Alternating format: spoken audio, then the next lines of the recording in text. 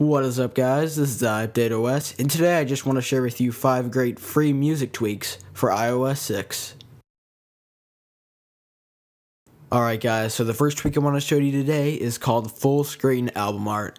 Now what it does is it replaces the standard lock screen album art with a full screen panning album art. Now you can turn the panning feature off and just have it focused on the center of the artwork, but I personally enjoy the panning option. This next tweak I want to share with you guys is called LS Music Seek. Now what it allows you to do is it replaces the volume slider on your lock screen with a music seek slider so you can pick any part from your song straight from your lock screen.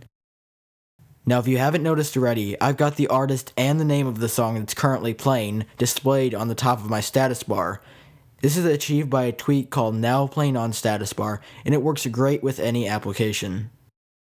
As you see here, this is just a normal speaker icon you get whenever you turn the volume up or down on your device.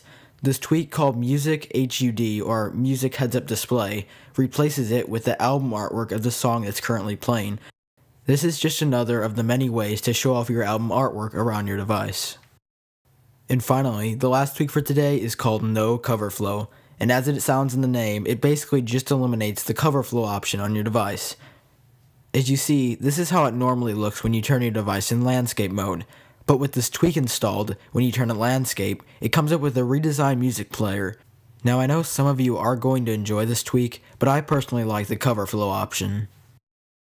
So if you guys have enjoyed any of these tweaks in this video, I'd really appreciate it if you hit that like button. And if you're interested in more content similar to this, please subscribe to my channel, iUpdate OS. Thanks guys.